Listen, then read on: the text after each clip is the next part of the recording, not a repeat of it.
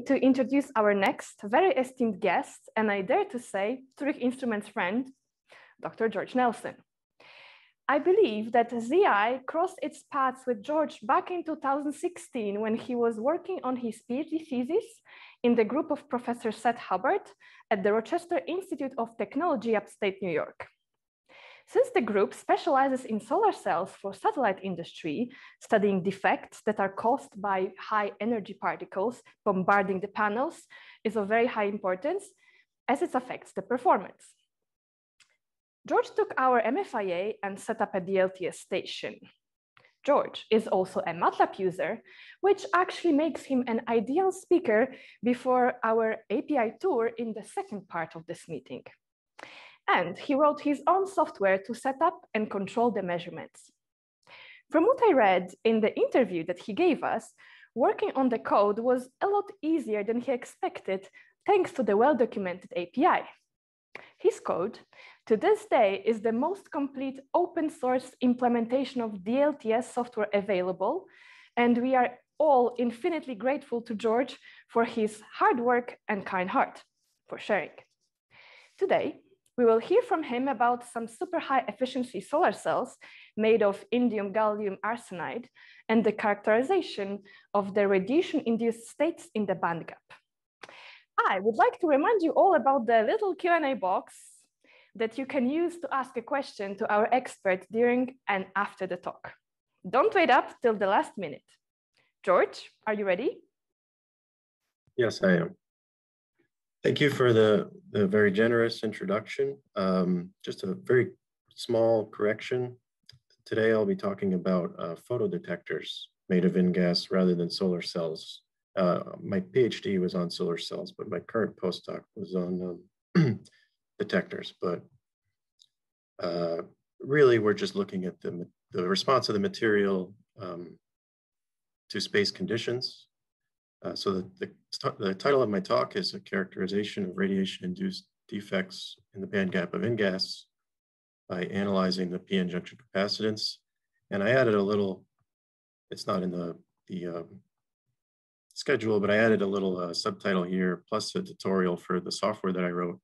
And the software was used to collect all the data that you see and all the data in my recent papers, uh, which I welcome you to go read. Um, and this is open source, uh, like was said, and uh, I'm happy to share it with, with the community. Uh, so the, the, the, my talk will be, um, I, I, very much enjoyed Ramon's talk this morning. I, I learned quite a few th new things. Uh, my talk will be maybe more geared towards beginners or intermediate users. And uh, I, I'm, in, I'm I feel motivated to introduce new people to the DLTS world, to, to bring new scientists into the field. And that's one of the reasons I, I share my code. Um, so I'm just going to give a, a, a, small summary of my work on InGaAs photodiodes in the first half. And then in the second half, sliding, starting on slide 17, uh, is the tutorial on the software.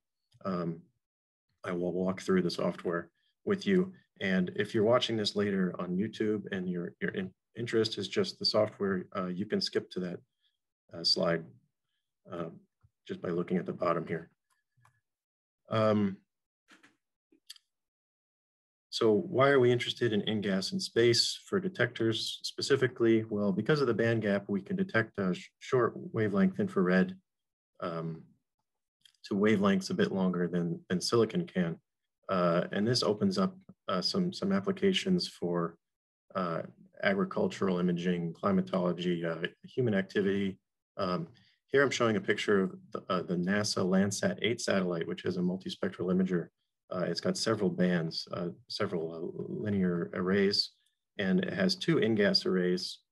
Um, and uh, I thought this image was very nice. It, using the InGaAs in this falsely colored image, the, the red here is the remains of the, the, I guess the smoldering remains of a forest fire in California.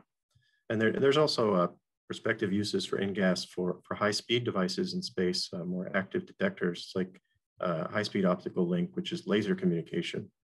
Um, so that's like shooting a laser to, to communicate between Earth and, and the satellite. So eh, the, the, the reason uh, we're looking at radiation-induced states. Is, is space is, is hostile to the, the, electronics. Uh, you have ions here, which, which cause uh, kinetic damage, um, non-ionizing energy loss, base damage. Uh, there's solar winds, there's the Van Allen belts. Uh, protons and, and electrons are, are, mostly what we're interested, um, are mostly what, what exist in these belts and cause the damage. Uh, so how does the damage happen? Well, it, it's in this figure, I, have shown a simplified model of it.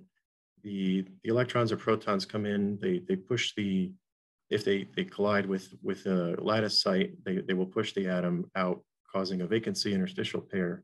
Um, and these accumulate over time, uh, and they, they may become recombination centers, which, which decreases the, uh, the sensitivity of the device. Uh, something else I would like to point out here is that uh, with, with, with, annealing is the, the phenomenon of defect annealing. With, with some heat applied to the lattice, we can actually diffuse the, the interstitial back into the vacancy, which, which will heal it. And I'll talk about that later.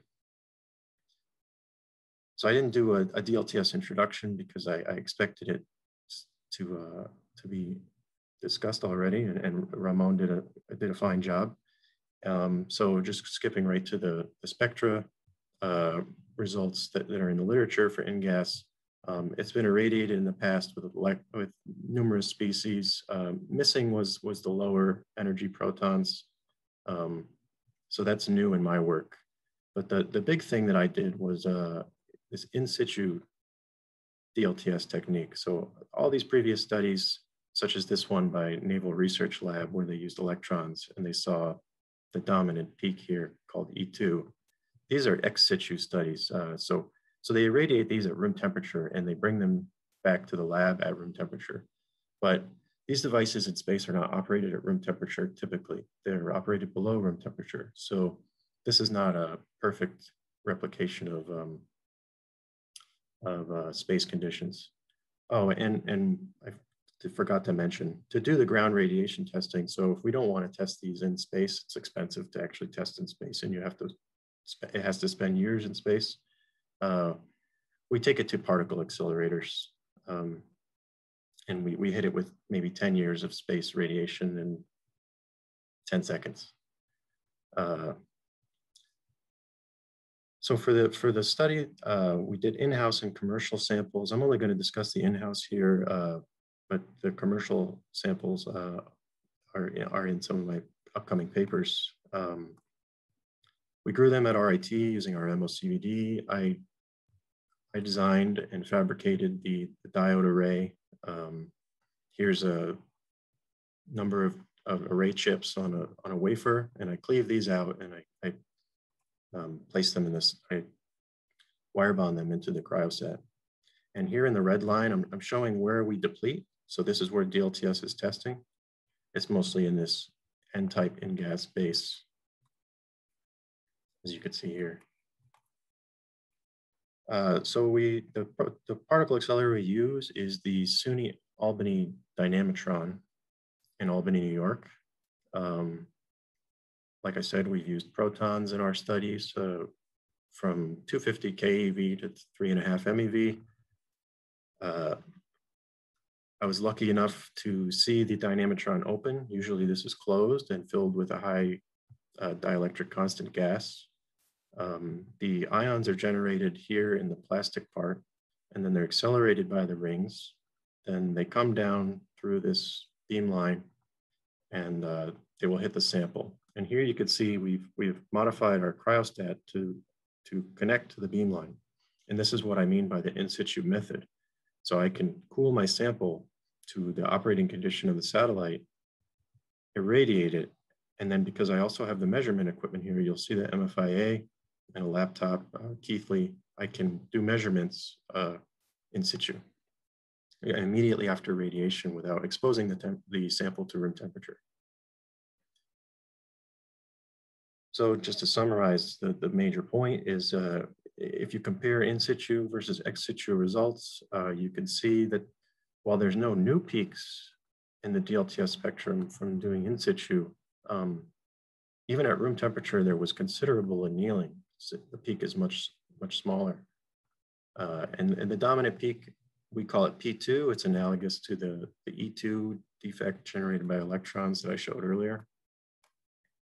And if we take all the data on the in-house samples and we plot the trap density versus the damage dose, um, if we compare the in situ results to the ex situ results, you can see across the entire range of the damage, the in situ is always um, higher, more trap density. So if you're looking to replicate space conditions accurately um, and looking at worst case scenarios, you should do the in situ method. Now, we were also interested in, in the annealing uh, behavior at low temperature because clearly it will anneal at 300 Kelvin and it will anneal probably below that. So we wanted to know how low the annealing will start. Um, so for this, we designed a whole new um, cryostat and experimental procedure. Um, this is a six, six sting or six stage cryostat. So I can load six samples in here. Uh, the samples go here on the sample stage. It's a commercial photodiode. And you can see a neighboring stage right there. And uh, here's the beam port. And it, acts, it has a carousel, so we can align the different stages to the beam port. And it also has an internal dewar for liquid nitrogen that lasts about 10 hours. Now, the reason we did this is because we cannot, we wanted to do months of annealing testing at space conditions, and we couldn't do this at the beamline. I mean, they're not going to let us just sit there for a month. So with the internal reservoir of liquid nitrogen, I can expose it, shut the valve, keep the samples cold, put it in the car, uh, and take it back to our DLTS lab. Um, and here's the action shots with that. Uh, you could see our, our measurement equipment again. Here's the Lakeshore temperature controller. So this is back at the lab uh, where now I've connected to the to the cryostat um, a larger reservoir of liquid nitrogen. This is a 50 liter tank, tank and it would last about two or three days before I had to refill it. And uh, I used completely automated annealing scripts with the MFIA that did not take me too long to develop. And uh, those are actually also available to you. Uh, so I start the annealing at 150 Kelvin. I do 30 Kelvin steps. At each temperature point, I do 30 hours of annealing. Every 90 minutes, I stop the annealing and perform isothermal DLTS to, measure, to measure the trap concentration. And then because I have six samples, I repeat this let me just say that this was the hardest experiment I've ever done in my life. And uh, if I ever ran out of liquid nitrogen, the samples would heat up and the whole experiment would be ruined. So uh, I wanted to go for more than one month, but the stress, I, I was only ever made to, to measure four samples. The, the stress was just too much. I was waking up in the middle of the night. Um, in the future, I would do things differently. I would probably get security cameras to constantly monitor things and with my phone. But here's some preliminary data of the annealing. So I'm showing the, the remaining traps uh, concentration. This is the total annealing time, and these are the different temperatures. And there's a, a there's a logarithmic anneal rate. Um, and you can see each time I increase the temperature, the annealing kind of picks up and then dies down. And then you can see there's there's kind of three regimes here. There's it sort of stops annealing here until I activate it annealing with a new temperature range. And then it stops annealing here kind of again. And then, so we think that that P2 defect may be a, a collection of, of different types of defects. Uh, the physical mechanism for this and the, and the, physical defect itself, we're working with Sandia National Labs to sort of interpret this. Uh, but I, I, hope to publish a paper on this in the coming year. So the conclusions are um, the in situ method, we're able to observe the response of the material without exposing it to room temperature. So we better replicate this satellite conditions. Um, we observe a dominant mid-gap trap labeled P2. Uh, and in my paper, I will show that that P2 is responsible for the dark current. Uh, we observe low temperature annealing of P2 trap, even at 150 Kelvin, uh, which is, is very interesting and might have some, some considerations for uh, the satellite designers, uh, the, the, people actually flying these detectors. And electron and proton ions create similar trap profiles. So now on to the, the tutorial section. And how am I doing on time? Okay, I think I'm pretty good. So I'll give you a quick background on, on how I was introduced to DLTS. Um, I'll explain some of the hardware involved and then a tutorial on the software itself. So I started DLTS measurements in 2013. I used the legacy SULA system, and now this system is not much different than how Lang used systems and when DLTS was first invented. Uh, the transients are measured and processed all in analog hardware, and the finished spectra sent to the PC. So the processing options are, you're limited to what's on the buttons and the knobs and the dials. Uh, and the, the, also the software that was included was, was sort of unreliable. There's no way I could have used this tool to do the annealing experiment that I just showed. That's why I, I looked into new options. I, I settled on the MFIA from um, suggestions from some from Ramon's group. Uh, and I coded my own software. Uh, the, the advantages here is that you can digitally capture the transient and you can process it on the PC. This means that your processing options are, are virtually unlimited. And you could do all these custom scripts with the, with the MFIA API, like I have done. And also uh, more benefits, the, adjust, adjustable lock-in settings. For example, this allows you to do admittance spectroscopy, which was talked about this morning. Um, one downside is you're limited to 10 volts in two, two point probe method uh, connection, but I haven't had a problem with that so far. That hasn't been an impediment to me. So comparing the, the SULA results that I used to get to the, the new system, um, a SULA, I, sometimes I would get very good signal to noise and sometimes I wouldn't. I don't know if our, our spectrometer was, was broken or I just was not very good at using it I tried everything that I could think of, but you can see the, the new data is, is very smooth. And this is for irradiated um, gallium arsenide diodes. So the website for the code is here. And um, there's initially a more mature MATLAB scripts version, and this will require a, a MATLAB license uh, but I am working on a Python version, which, which will be completely free. The software itself, uh, of course, is free. It's just the license that you'll have to get. Um, this is what the website looks like if you're not familiar with GitHub. Uh, to download the latest development version, uh, you would click on this code button and download the zip. Um, but some things might be broken. So you might be better off going to the stable version that I've tested by going to the releases page, clicking on assets and downloading the source code zip. Now, all of these, uh, most of this stuff that I'm going to show you is, is in the README file, but I'm going to go over it with you live in person here. The hardware requirements is, of course, you need the device to test on. You need the cryostat with the electrical leads for device connection and the, the accompanying hardware there you need a lakeshore. And right now I only support the 3.3 models and I, am not, a, I only have a 3.3.1, so I'm not exactly sure which models I support, but I think it has to have GPIB. Um, so I guess you're also gonna need a GPIB control, uh, adapter. Uh, MFIA, of course, and uh, a computer. And it should be a relatively fast computer, maybe like a Core i5 or better. Software dependencies, uh, clearly, as I said, you're going to need MATLAB and, and to, for the optional toolboxes, you'll want statistics and instrument control. Um, here's some of the, the other software dependencies. I use some third-party libraries in my code. Um, for now, you don't need to worry about this EzyFit.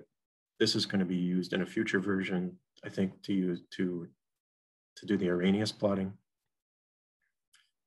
The big thing is you want to download the LabOne software, uh, which uh, you want the main server software, which you probably already have installed if you if you purchase the MFIA. Um, you can easily get these on the, the Zurich Instruments website. And you also want the, the MATLAB API or the MATLAB driver. Um, which will download as a zip file. And then I've also used these two uh, third parties. These are actually included with my code, so you don't need to download them. I'm only showing them here for attribution purposes. So the big things you need are, are the MATLAB and the, the LabOne stuff. Uh, I think you also probably need the GPIB drivers, um, which I, I, I, may revise this to, to show that. So here's a wiring diagram. Uh, Tim already showed, I think most of this, if not all of it, but on the MFIA front, what you want to do is connect the auxiliary out two to the trig trigger in one on the back. You may find if you connect the ground on the back to the cryostat, it will reduce the noise. Um, I use two point probe with the 10 volt limit. Uh, so you want to connect these two to the sample. Uh, you want to connect the auxiliary out one to the auxiliary in one. I recommend using a, a, gigabit ethernet connection to connect to the PC since it is faster, but you can use USB 2 and it probably won't make that much of a difference. Um, which of course means your PC needs to have a gigabit uh, port, gigabit ethernet port. And, and you also will need the GPIB adapter to, to contact the Lakeshore. Uh, now these wiring diagrams are also on the site. I include the pictures just for, uh, for helping you get this set up. Okay, so the, to, to run the software, the first thing you're going to do is um, start the LabOne. Uh, you'll double click on the shortcut here. It'll launch the web UI. You're gonna want to select these things and then open it. And then you can put that in the background. Next, you're gonna wanna take the code that you downloaded from my website uh, for the MATLAB code and unzip that to a folder. You'll see these files I'm going to explain what all these do. Uh, the acquire data folder contains the scripts that run the experiment, save transients um, into data files. Data files go in the data folder.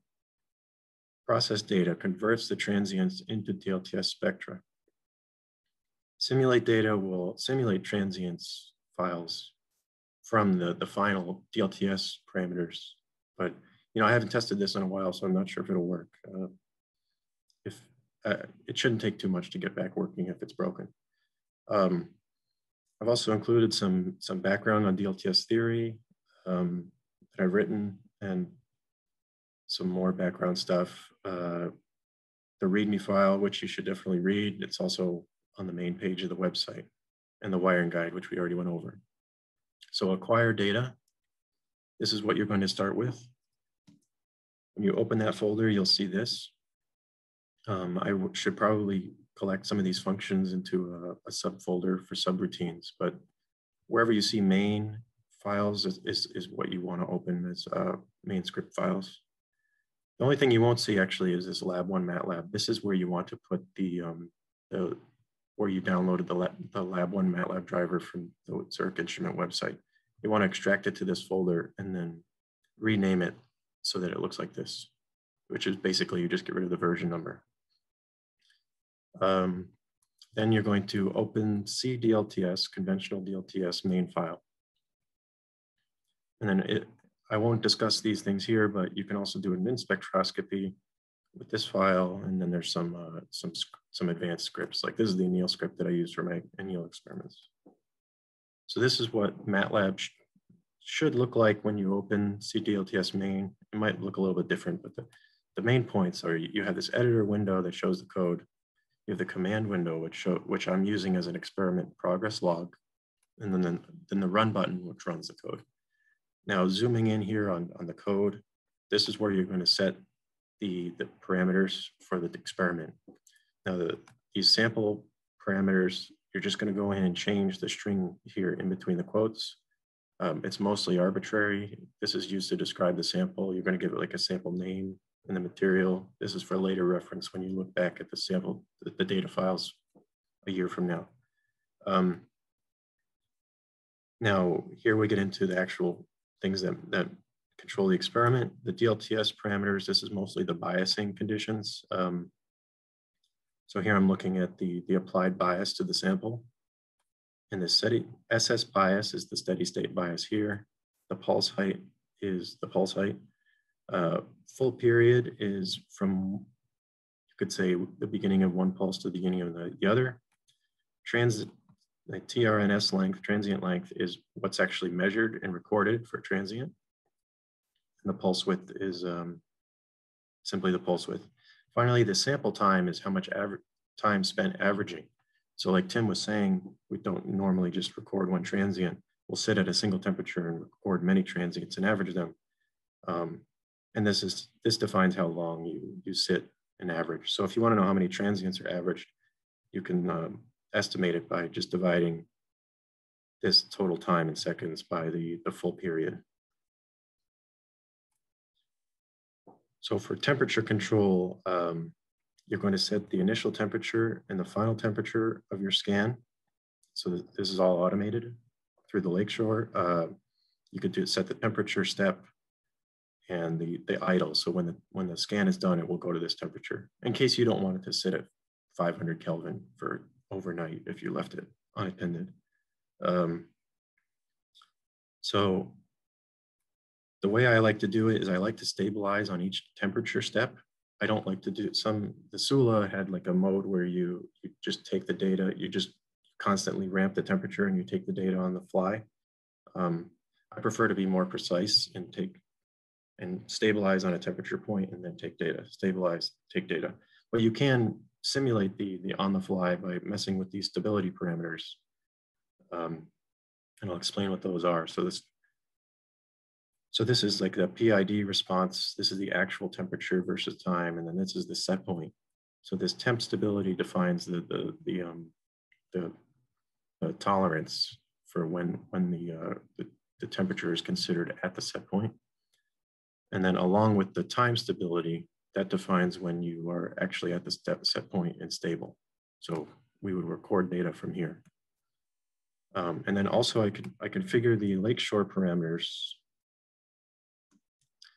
but there's very limited configuration, basically just the these control and measure sensor and also the heater power.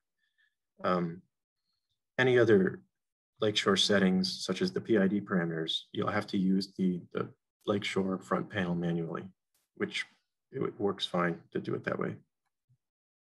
Um, these are some advanced MFIA lock-in settings. Um, if you want to mess with these, uh, you're probably more advanced than this tutorial needs anyway, so I'm not going to talk about those. But the defaults will work fine for most people. Um, so starting the software, uh, you know, after you change the settings, you're going to hit run. Then you're going to observe the log and you see it will initialize the hardware and then it will pause. So you so press any key to continue. I, I do this so that you can go back to the web UI, you can open the plotter. Make just like Tim showed earlier, just show the, uh, the capacitance versus time data and just make sure that it looks like it's you're running a DLTS experiment. And, and we are, right? We have the pulse here and the transients. So everything looks good. So let's go back to the software. We continue. We have the temperature stabilization steps here. Then you'll see the transient collection and uh, you see the 30 seconds of sampling time. And then for, after it's collected for this temperature, uh, it will save a data file and it will output this plot, which uh, was inspired by some Zurich Instruments code. The yellow is the raw data for like one transient, and then the red is the averaged. So clearly averaging helps a lot. So where the data goes, it goes in the data folder, it's the sample name and then appended with the date code. And then each uh, each temperature point will have a tr the trans uh, the capacitance versus time data for the transient. So to process the data, um, you're going to open that folder and you're going to open transient to CDLTS. Now, the only thing you have to change here is, um, and I'm, I'm almost done. So the only thing you'll have to change here is this folder name. You want this to be the folder name that was just generated for your data. And then you can hit run. And that's all you really need to do. If you want more advanced features, you can change your rate constants. I, these are the six defaults that I use and I would recommend those, but you could pick whichever you like. And then also, as Ramon was, was talking about earlier, you, you can change the weighting functions. I've implemented six here I recommend using the exponential with interpolation. It gives the best signal. But like Ram Ramon was saying, it's a, it's a trade-off between the best signal to noise and the best selectivity. So if you want good resolution, maybe you want to use one of these other uh, functions. And this is what the, the, the program will spit out. Here you have the, the spectra, the spectrum, and then here you have the capacitance versus temperature. And this also is going to be put out in a, um, a data file in the data folder. So you can plot it however you like. Now, one thing I will say is I, I do not do automated Arrhenius plots. So you will have to find the, peaks here and maybe make your own Excel script to do the Arrhenius plots, but that, that part should be pretty easy um, if you're familiar with DLTS. So I'd like to end on sort of a high note, uh, comparing the system that I built with uh, this commercial high-end BioRad DLTS system at Naval Research. They gave me the same sample that they used in this paper. And you could see this curve that I have plotted here is almost, it's exactly the same as you see in the paper. And I got very similar results. So I'm very happy with the with the performance of this system. Also in the future is the Python version. It's going to behave very similarly. So if you know how to use one software, you can use the other. It, it works right now to acquire data, but processing the data into Spectra is not, is not finished. Um, it will be easier to use, but harder to do custom scripts. So the MATLAB code will still be useful for many people. Also, uh, I have some CV code that I'm trying to implement into the main code. Um, here you can see I'm doing doping versus uh, depletion width. So uh, these are the acknowledgments, uh, the team at RIT and SUNY, uh, collaborators on the InGaAs research and funding, and then here's some acknowledgments for scientists that helped me build this system over the years. So I, I'm finished now and I open for questions. Hopefully I didn't take too long.